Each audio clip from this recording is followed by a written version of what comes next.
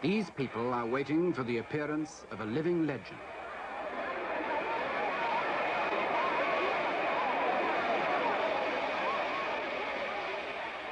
Ministers of government, ambassadors and their wives, princes of the church, by now they've probably lost count of the number of times they've waited here at Addis Ababa airport for the same extraordinary man. In a moment, he'll step from the door of this aircraft to a scene that's even more familiar to him.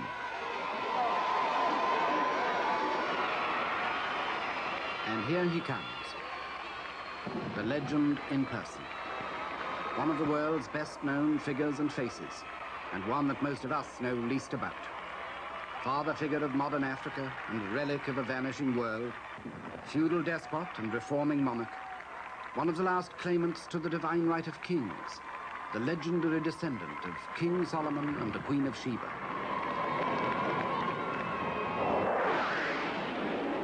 His Imperial Majesty, Haile Selassie I, conquering lion of the tribe of Judah, elect of God, King of kings, Emperor of Ethiopia.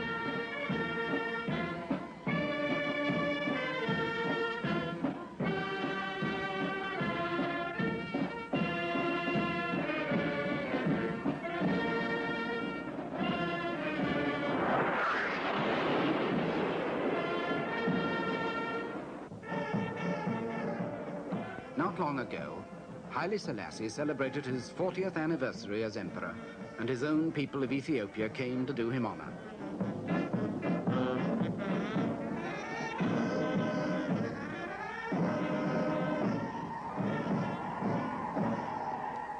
But Haile Selassie in his time has been far more than just the ruler of a small African state. He's become one of the great survivors of our day and of yesterday, riding out in shrewd triumph all that the 20th century could throw at him.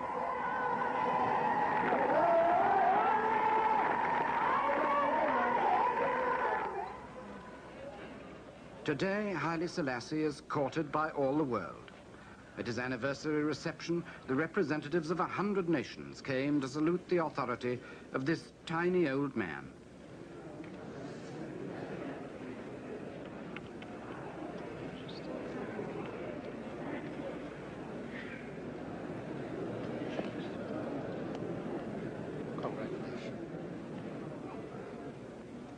He was probably the first African leader to be treated by white men as an equal, and the first to be sacrificed by them in the name of appeasement.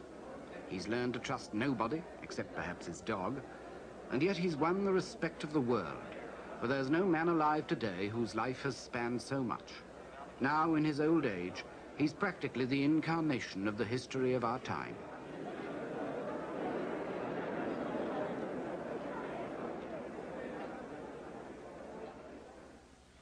Time began for Haile Selassie in this remote corner of the Horn of Africa in 1892.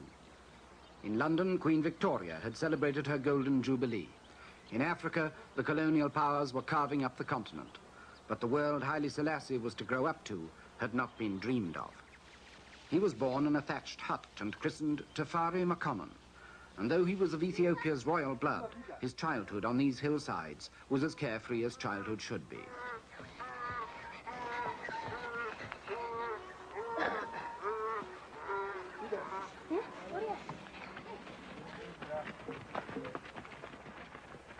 Ethiopia to the world then was not much more than an African fairy tale. In European romance, it was the land of King Solomon's mines, Prester John and the Queen of Sheba, the place called Abyssinia, where the tribe of the Habeshan was supposed to live. Only a handful of foreigners had reached its interior and found among its mountains the source of the Blue Nile.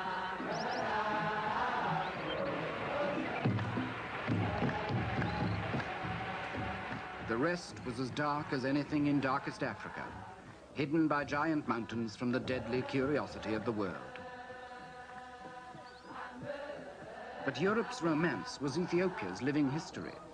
There was a rich empire here when most of Europe was in darkness 2,000 years ago. Its ruins still stand at Axum, its first capital. And the title of its first rulers, King of Kings, is that of Haile Selassie today.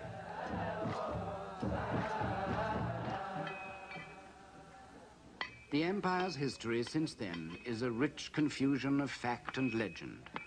There are still 50,000 people like these in Ethiopia who call themselves Jews of the House of Israel and claim descent from the first Jews out of Arabia 3,000 years ago. They observe the Jewish Sabbath and mark their pottery with the Star of David. Like Haile Selassie's imperial crest, the star crowns the Lion of Judah, the central Ethiopian symbol, begotten from Sheba, who bore a son to King Solomon, and called him Menelik, the first Ethiopian emperor.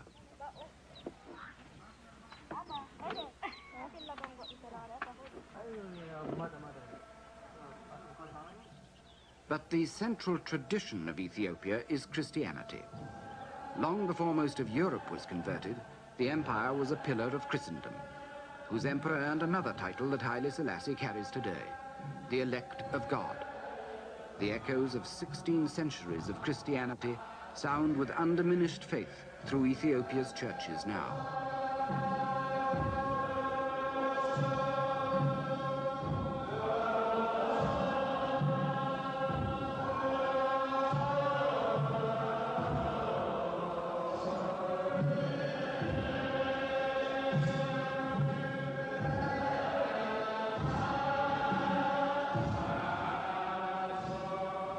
Church in Ethiopia was a sort of barbaric Byzantium, and a crusading church as well, bestowing the light of Christ upon the heathen tribes. But like other crusaders, it was beset by the growing power of Islam. From over the Red Sea, the Arabs swept into Africa with their own revelation. Soon, Ethiopia was a Christian stronghold surrounded by the Muslim world.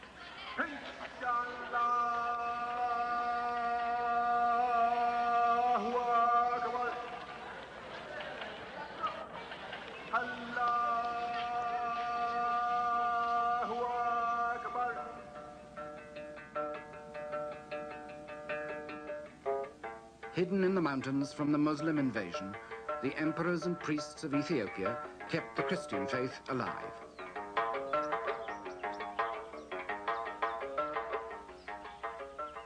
Here in the 12th century, the Emperor Lalibela carved out of the rock the churches of what he hoped would be a New Jerusalem. It was the empire's capital for a hundred years and came to be known as Lalibela after its creator. 800 years later, Haile Selassie was to come here to pray for deliverance from Italy's invasion of his country. At the worst moment of his life, it was his way of declaring his ultimate faith in the God who was so essential to his empire's tradition. A tradition that the monks of Lalibela still voice in a haunting mixture of orthodox plain chant and African rhythm.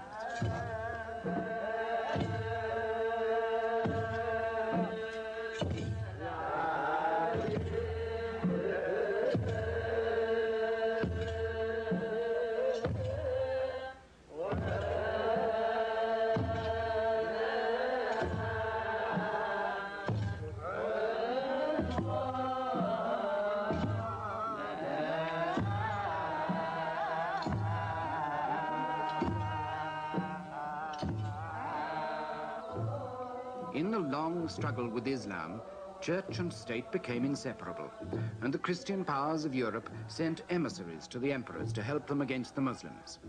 One of them may have been Prester John, some Western Father Jean, perhaps, exiled and forgotten here for a lifetime.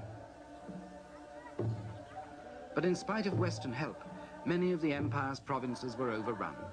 The emperors themselves became nomads, wandering the highlands from camp to camp until here at Gondar in the 17th century, they came to rest again in renewed splendor.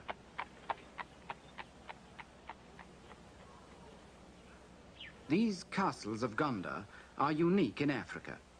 Probably some Portuguese helped to build them. Possibly Indian craftsmen were brought in. But they're a sign of Ethiopia's special distinction in Africa as a place where the non-African world made some early mark on the continent.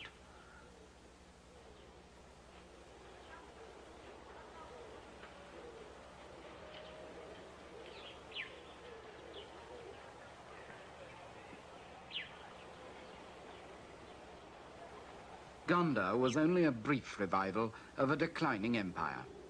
In another hundred years, the court was on the march again, still carrying the Christian banner, but challenged at every step by powerful feudal barons, as the kings of medieval England used to be. Only the church held Ethiopia together, and gradually authorities shifted again towards the church strongholds in the central mountains. Here, the empire that Haile Selassie would inherit began to take shape, under King Sahle Selassie, his great-grandfather. King Sahle was one of the most powerful barons, and it was to him that the new commercial empires of 19th century Europe came with their gifts and guns. And his kingdom was the foundation on which the Ethiopian empire was rebuilt.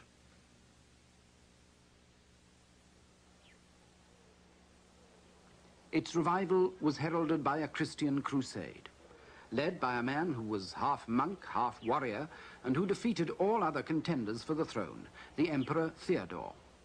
But in 1862, Theodore fell foul of Queen Victoria. By misunderstanding, she failed to answer one of his letters, and in a huff, Theodore imprisoned a British consul and some European missionaries in his mountain fortress at Magdala. When five years of diplomacy failed to secure their release, the British at last sent a military expedition to recover them.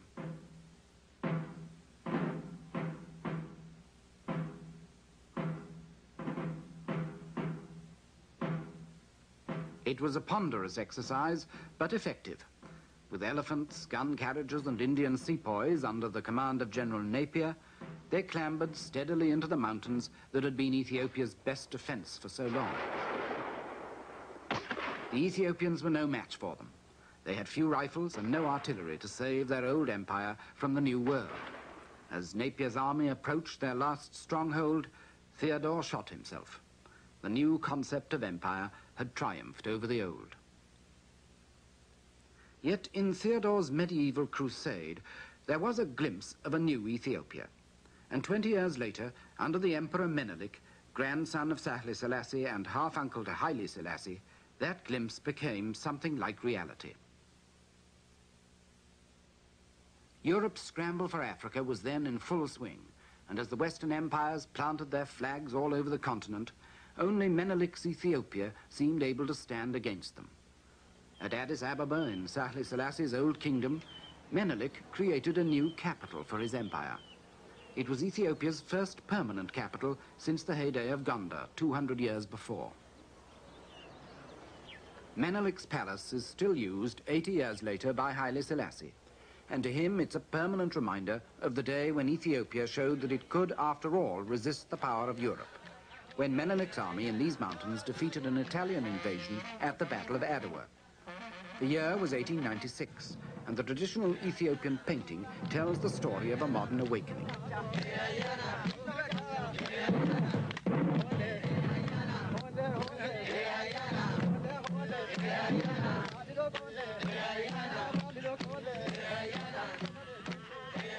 It was the first time a European army had been defeated by Africans since Hannibal beat the Romans 2,000 years ago. Menelik's celebrations were huge and noisy.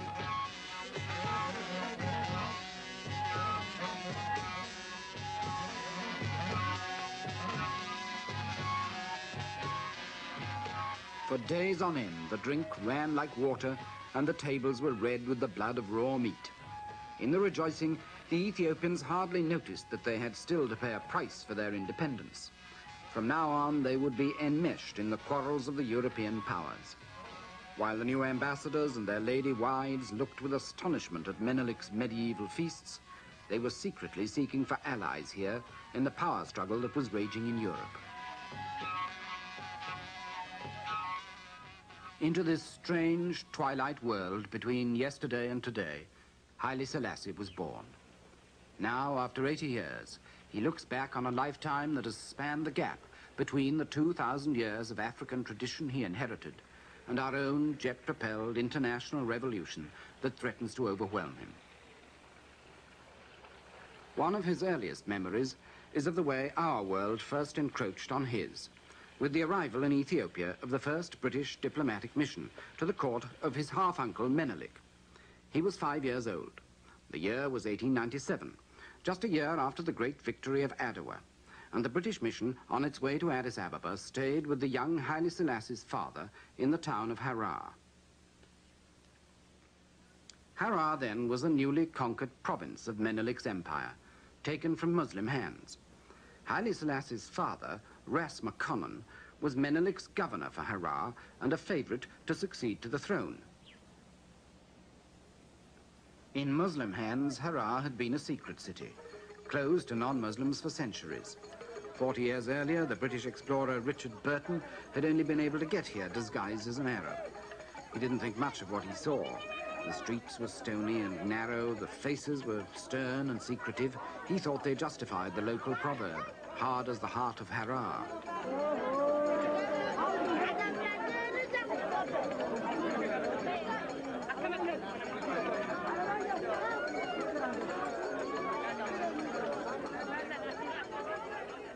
Harar's not a great deal better now, but for what change there is, Haile Selassie's father can take some credit.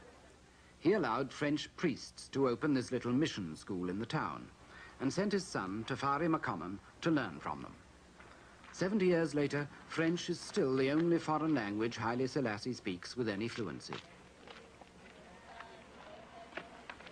Today, the school is little changed, but in coming here as a boy, Haile Selassie recalls that he had an advantage given to very few others in the empire at that time, and he's been obsessed with the value of education ever since. His father is remembered by Haile Selassie as an unusually enlightened man. He built Harar's first hospital. He opened the first Ethiopian state school.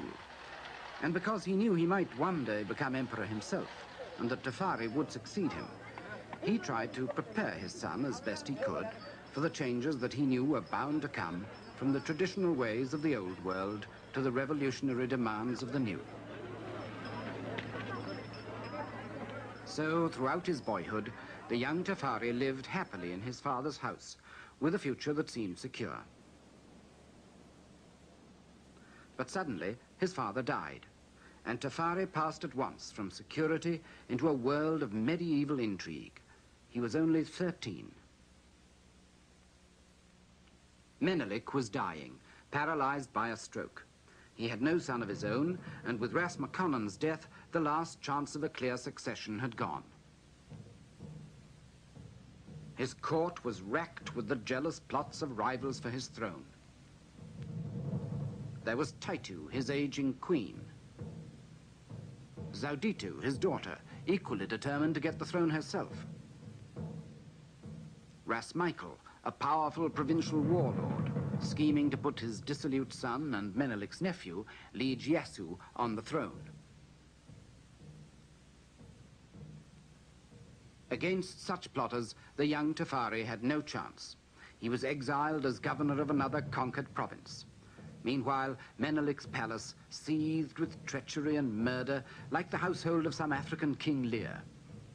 For five years, the conspiracies tore the court apart, until in 1911, the doddering Menelik at last revealed his choice. Ras Michael's son, Lij Yasu, was the heir to his throne. The queen and his daughter were thrust aside, and Tafari Makonnen joined Ethiopia's other barons in swearing an oath of loyalty to his rival. As a reward, he was sent to his father's old job as governor of Harar. In Harar, Tafari was safely out of the way, a week's journey from the capital. He was just 19, but he was experienced far beyond his years. Already he knew not only how to run a province, but how to play a waiting game, and he knew there was still a crown to play for. He needed all his caution, because when Menelik died at last and Yasu was crowned, the new emperor was already half mad with syphilis, turning from youthful dissipation to exotic vice and murder. He tried to murder Tafari on this lake near Harar, where Tafari often went boating with friends. This time, Lij Yasu bribed a servant to hold the boat so that it sank in the middle of the lake. A friend was drowned. Tafari survived by swimming ashore. The foreign embassies dabbled in these plots as well. The new diplomats who'd surrounded Menelik now imposed on these medieval intrigues the shape of approaching war in Europe. Germany and Turkey stood with Lij Yasu. Britain, France and Italy swung to Tafari's side. It was 1914, and as the guns opened up on Europe's western front, 4,000 miles away, the contest in Ethiopia took an older shape. Christianity once again prepared for a clash with Islam. A Muslim empire in Africa was the bait dangled before Lij Yasu by Germany and Turkey. And in his craze for power, the new ruler of a Christian empire became a Muslim in all but name. For the Christians, it was the last straw. Vice, murder, and rape they were accustomed to, but apostasy struck at the heart of their tradition. Lij was formally excommunicated from the Ethiopian church, and with British encouragement, Tafari was proclaimed regent with the title of Ras, or prince. He was 24 years old. Zauditu, Menelik's daughter, was crowned empress at the same time. But the struggle was unfinished. Lij Yasu was still free, and on this great plain north of Addis Ababa, his father, Ras Michael, gathered an army to restore him to the throne. It was another medieval scene. The horsemen were dressed in the monkey skins of war with Ras Michael at their head.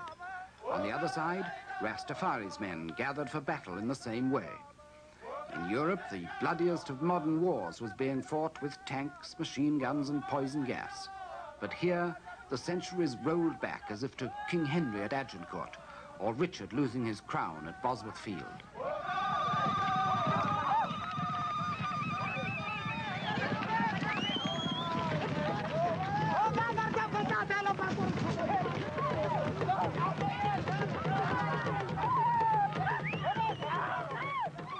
Like Menelik's victory at Adowa, this battle of Rastafari for his crown has become one of the great subjects of Ethiopia's popular art.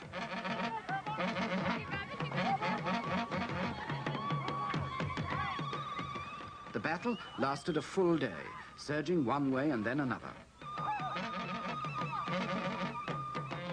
But in the end, the man who rode back to Addis Ababa in triumph was Rastafari. It was a victory that he still recalls as the turning point of his life. But almost immediately, he was embroiled in the outcome of the other war in Europe. At the Versailles Peace Conference in their victory, the Allies again redrew the map of Africa. But once more, Ethiopia escaped. Playing off the great powers against each other, Rastafari kept his independence. Joining the new League of Nations, he put his faith in the latest post-war watchword, collective security. In such great company, one little country would surely be safe, and none would let another gobble it up. Instead, he hoped that all might compete in helping him to modernize his country and make it worthy of its place in the League. To extend his foreign contacts, he toured the European capitals. In London, the Times described his arrival as an historical event. In Stockholm, he met King Gustav, and the Swedes promised him doctors. In Brussels, he found financiers ready to invest in his country. The French were already in Ethiopia. They had completed a railway from the coast to Addis Ababa in 1918. It was Ethiopia's first physical link with the modern world, and it helped to establish Addis as a permanent center of Ethiopian government, as no capital had ever been before. But Tafari still needed all the foreign help he could get. Most of Ethiopia was still sunk in the Middle Ages, and Addis Ababa was still only a ramshackle place of tin roofs and open drains.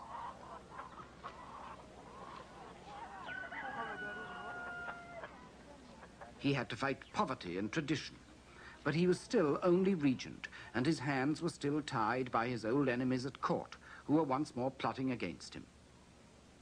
It wasn't until 1930 that Rastafari won supreme power at last and ascended the throne when the Empress Zauditu died.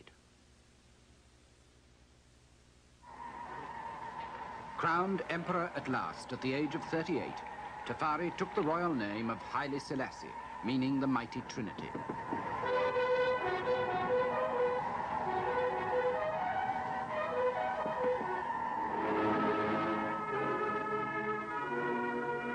His coronation was attended by men of rank and circumstance from all over the world. The Duke of Gloucester went from Britain. France sent a field marshal. Italy, the heir to the throne.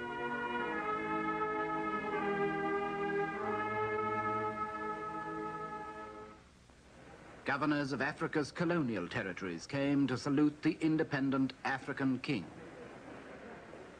His own people poured into Addis Ababa in thousands to pay homage to the new emperor.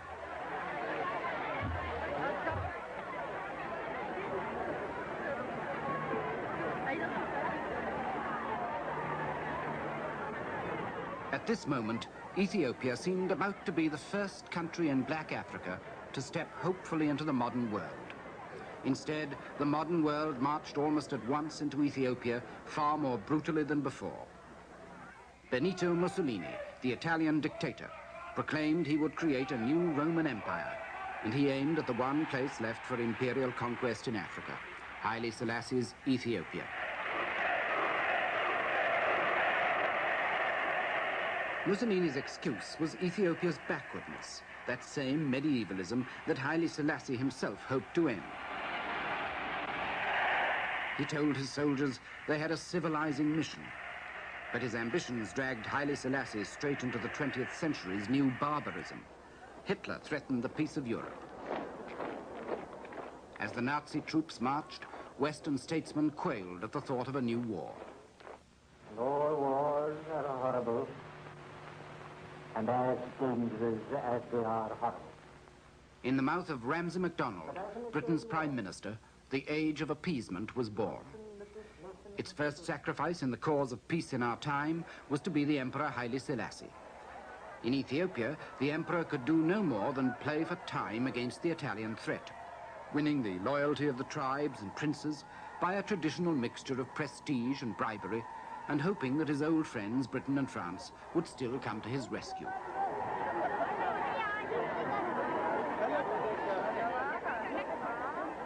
But Haile Selassie and his men were whistling in the dark. The Italian troops were already embarking, and Britain and France would do no more than proclaim an embargo on arms sales to both sides. For Italy, with her own arms, the embargo was a green light. For Ethiopia, it was a death sentence.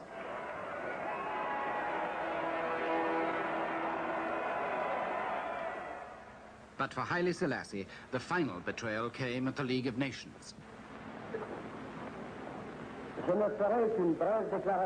Pierre Laval, the French foreign minister, and Sir Samuel Hoare for Britain, proposed to hand part of Ethiopia to Mussolini.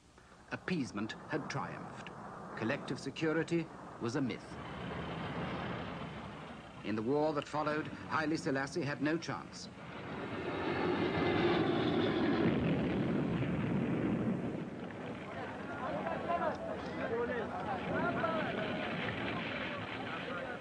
Forty years earlier, Haile Selassie's father had helped Menelik to beat the Italians at Adwa. Now Mussolini's troops had their revenge. Within a month, Ethiopia's first capital at Axum had fallen, and over 2,000 years of independence were nearly at an end. Abandoned by his international friends, Haile Selassie found even his own men unwilling to fight on. He had only a handful of trained troops. The rest were untrained tribal warriors, hopelessly outgunned.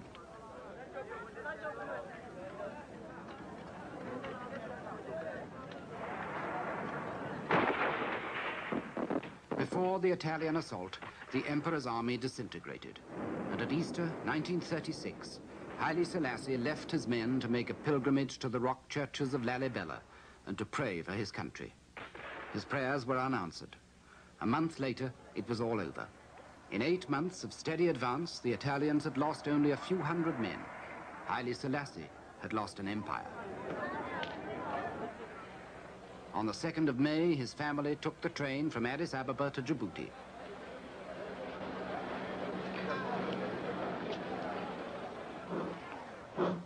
On the 5th of May, Haile Selassie followed them.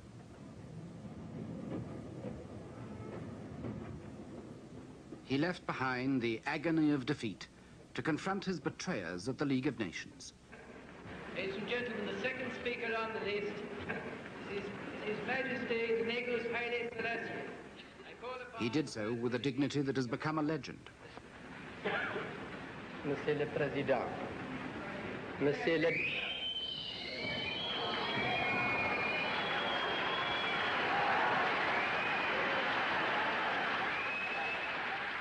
The jeers of fascists in the gallery did not stop him. I am here to claim justice, he said.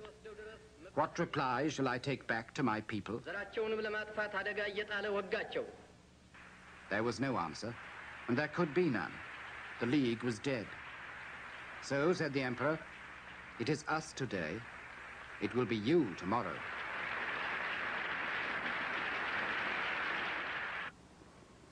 Haile Selassie went into exile in Britain. He was 44, and it seemed then as if his life's work had ended before it had begun. He vanished in the gathering storm of war that his downfall had started. Hitler had already re-entered the Rhineland. Austria was soon occupied. Munich was to follow, then Czechoslovakia, and finally the German army marched into Poland. And at last the world woke up. Britain and France declared war on Hitler's Germany. The age of appeasement was over. But as Europe went to war, appeasement's first victim seemed more than ever forgotten. Only when the war widened still further was Haile Selassie remembered again. When Mussolini joined Hitler in 1940, the emperor automatically became Britain's ally, and his futile exile came to an end. Within weeks, Haile Selassie was back in Africa, waiting for the British to mount an invasion of his own country. The campaign was one of the swiftest and most successful of the war. In less than a year, the Italians were defeated and Haile Selassie was on his way back home. He flew into Ethiopia from the Sudan, and while other troops fought their way to Addis Ababa from the coast, he returned by road through the mountains. Just above Addis Ababa, he stopped for a first look at his capital, five years to the day since he had left it. What one imperial power had put asunder, another had restored. The legend of Solomon and Sheba was rekindled. The Lion of Judah had returned. Ethiopia rejoiced. And so did Haile Selassie. For him, it was one of the greatest moments of his life, a chance to start again.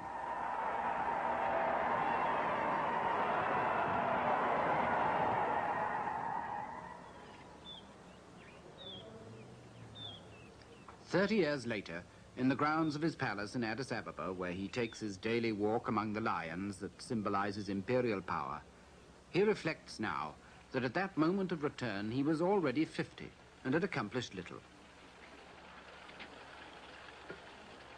The Italians had left very few colonial improvements for him to build on.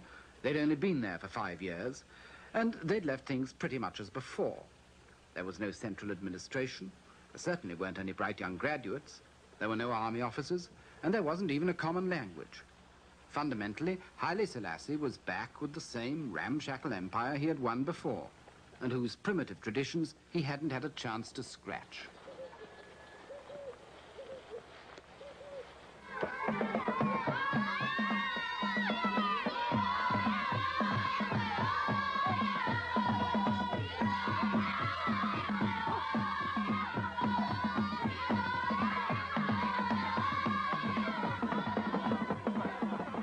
When Haile Selassie returned, his empire had 20 million people, 100 different tribes, and 50 different languages, and was twice the size of France.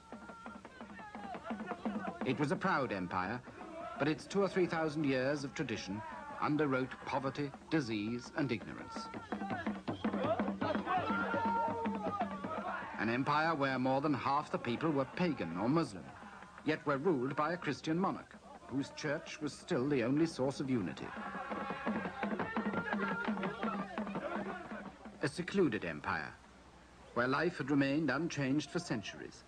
An empire, in fact, as backward and conservative as anywhere in the world.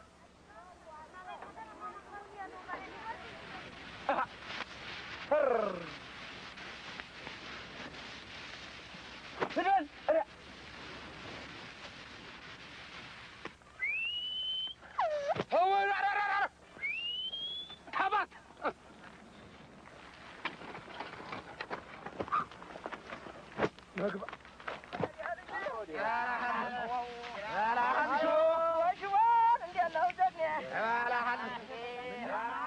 There was no easy escape from the isolation and poverty of Haile Selassie's empire.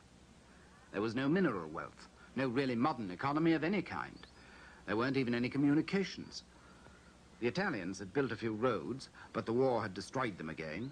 And one of the first decisions the emperor had to make was whether he should rebuild the roads through these mountains. He decided he wouldn't, for the time being anyway. Instead, he put his faith in the air. With American help, he created a network of tiny airstrips that broke down the isolation of the interior for the first time.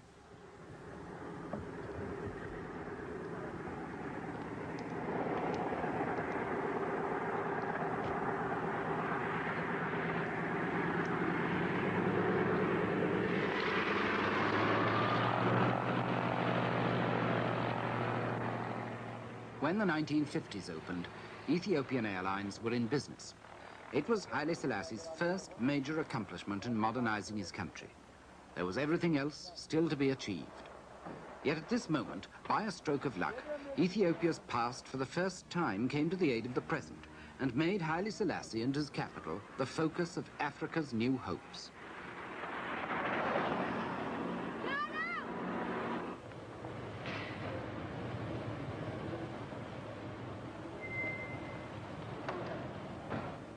As almost the only independent African ruler after the war, Haile Selassie provided a symbol of self-respect for black men just emerging from white rule. The wind of change had come to Africa.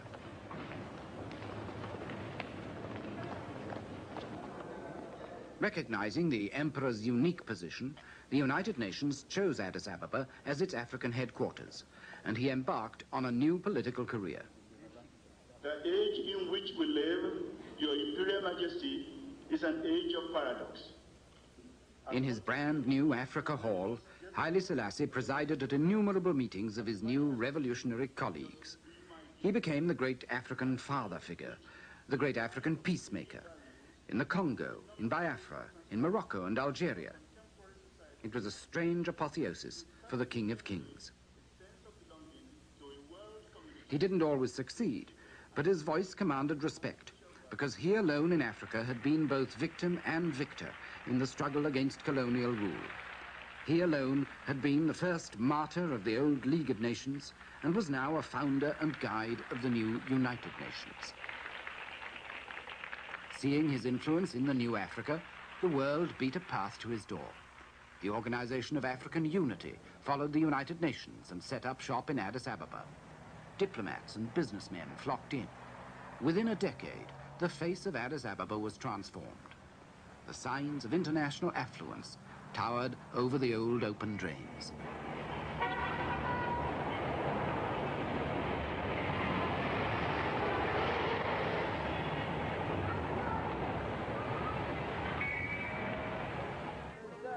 With the bankers and diplomats came foreign money and foreign aid. There were new ports, new roads, new dams to be opened. America trained the emperor's army. Russia built his schools. Israel provided technicians. India supplied teachers. Britain brought doctors. France offered culture. Germany sent trade missions. Haile Selassie's old empire had become the new African showcase, and everyone wanted an exhibit there.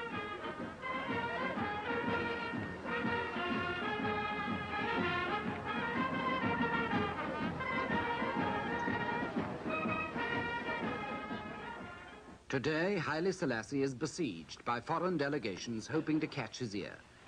He balances these contemporary forces to strengthen his own independence as shrewdly as he juggled half a century ago with the rival tribes and princes in his old fight for power. One day it may be a Japanese delegation. The next day a mission from Maoist China. It doesn't matter what political persuasion they are, they all see Haile Selassie as an essential link to the rest of Africa.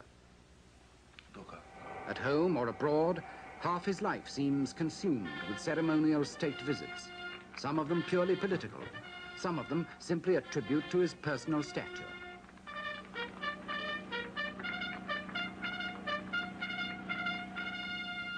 Even with Italy, he's made friends again. On a state visit to Rome, 30 years after Mussolini's troops had been driven from his country. At home, he seems all-powerful, adding to the natural mystery of a divine monarchy the artificial cult of personality. His name is everywhere. His presence seems all-pervading. His word seems law. His ministers are overshadowed by him, and his government is run by him. His palace is surrounded by all the machinery of a modern administration. But even his prime minister brings the important decisions back to him. In his old age, it looks as if Haile Selassie has routed all his enemies at last, to emerge supreme, as if the all-wise and benevolent Lion of Judah has prevailed.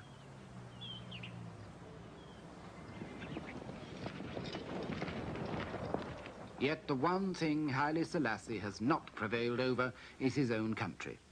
Outside Addis Ababa, the traditional Ethiopian ways have hardly changed at all. The emperor's writ runs only as far as his governors can ride.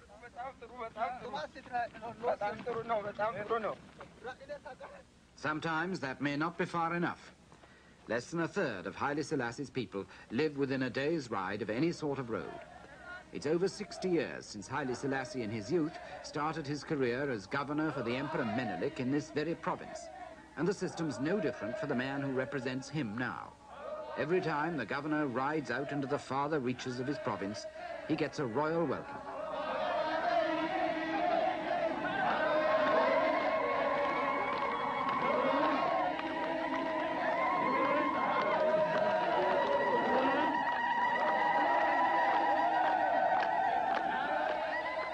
Like Haile Selassie in the old days, the governor still needs guards to protect him, servants to tend him, even interpreters to translate for him, because hardly anybody in the remoter provinces speaks the language of the emperor's government.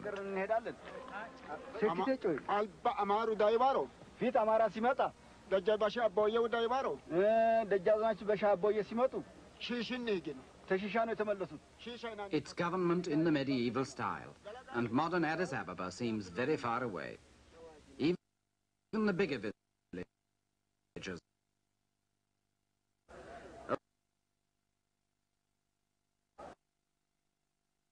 eye for an eye. Island village.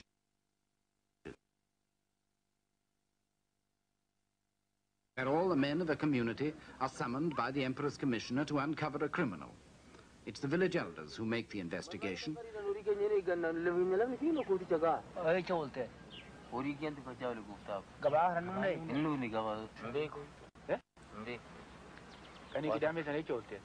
Gabaa hannuu ne. Kanii qidaamee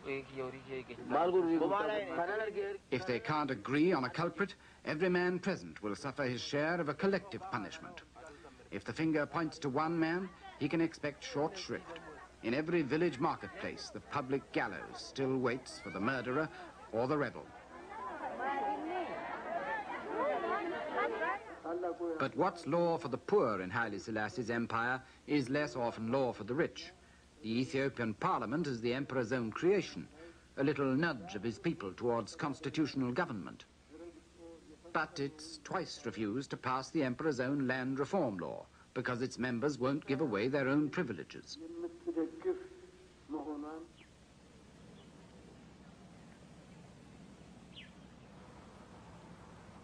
As the years go by, the emperor's step gets slower.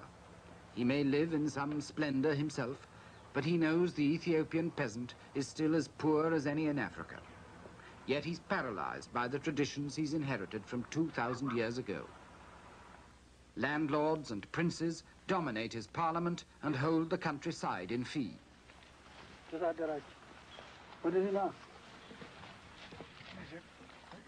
The peasants own nothing, and at harvest time the landlords and their bailiffs come to demand their share of the crop.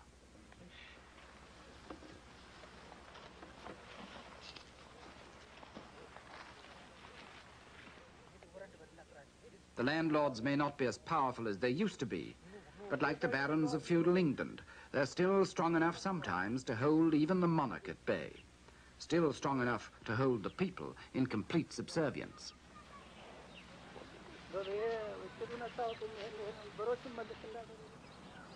Biggest of all the landlords is the Ethiopian church. History has made it inseparable from the empire, And now, as powerful as the great monastic orders of medieval Europe, it dominates the life of the Christian highlands.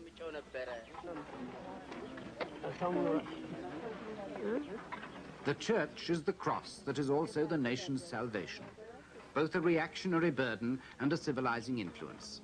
Its priests may be ignorant, but they're usually the only people for miles around who can read or write. Its schools are pathetic, but until Haile Selassie's reign, few other schools existed. 90% of his people remained totally illiterate.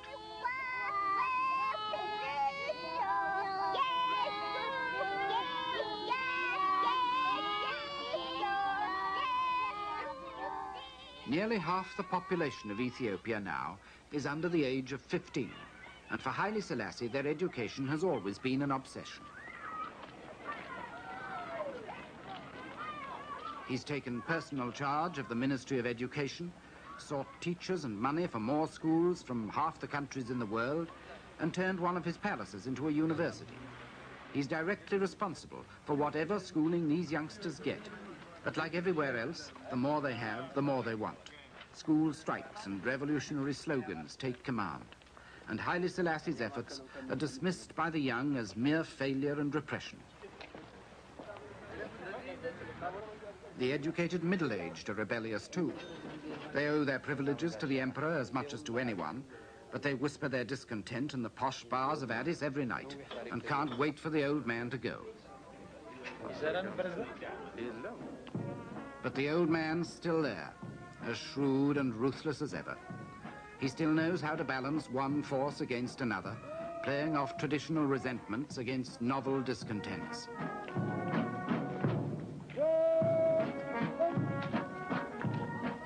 Some of the latest challenges to Haile Selassie's rule combine the old and the new Ethiopian divisions and discontents. Down near the coast in Eritrea, where the Italians had their empire for half a century, there's a popular liberation front now fighting for independence from Haile Selassie and joining the old battle of Islam against Christianity with a new revolutionary movement against an ancient monarchy.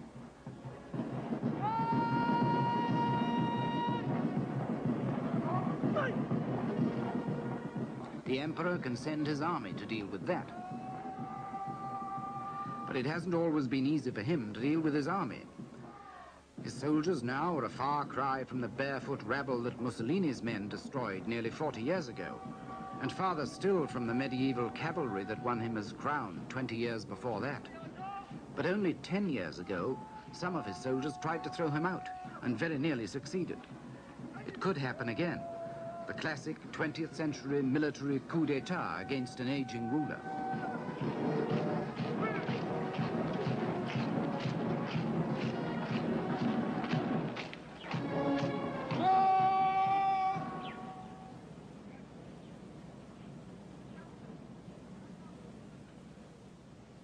Haile Selassie is a lonely man now. His wife, two sons, a daughter are all dead, and though others remain to keep him company now and then, the essential solitude of his life on the tightrope of power must grow more oppressive every year. On one side, there's still the old Ethiopian world of feudal power and tradition. On the other, there's the new challenge of his own reforms, the educated youngsters and the modern army officers who want the world and would like it now. They're the upper and nether millstones which have ground many a good man exceeding small, especially in this century. To have survived them for the better part of 55 years in power is something unequaled by any ruler in the world today. No wonder the Lion of Judah has become one of the living legends of our time.